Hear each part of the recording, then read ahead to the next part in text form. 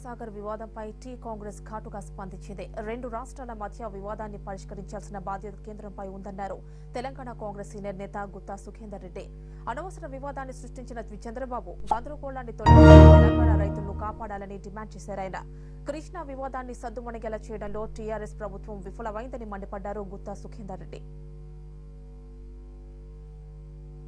Krishna board ఏర్పాటు చేసినప్పటికీ దానికి స్పష్టమైనటువంటి నిర్దేశమైనటువంటి ఆదేశాలు ఇవ్వలేదు. వాళ్ళ యొక్క విధి విధానాలను సంపూర్ణంగా వాళ్ళ యొక్క బాధ్యతలను ఇచ్చి ఉన్నట్టయితే ఈ ఘర్షణ వాతావరణం వచ్చేది కాదు. దానికి కేంద్ర ప్రభుత్వం యొక్క బాధ్యత అనవసరమైనటువంటి రద్దాంతాన్ని చేస్తున్నటువంటి ఏపీ ప్రభుత్వం కూడా బాధ్యత వహించాలా?